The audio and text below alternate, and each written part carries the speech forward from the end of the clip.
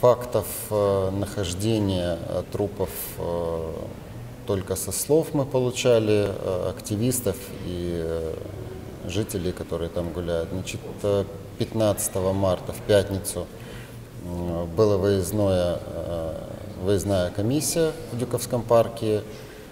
Участвовал Госпродпотребслужба, управление споживчого рынка и защиты прав потребителей, Приморская администрация, Управление государственного архитектурного строительного контроля и, соответственно, Департамент экологии.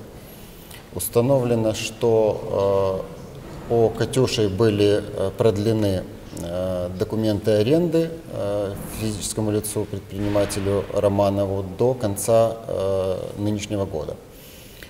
Э, Также повторно установлен факт э, ненадлежащего содержания животных.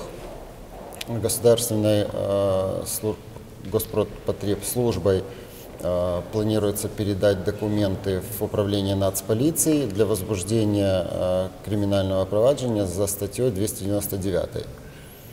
Э, Вопрос также находится на контроле у департамента и полиции.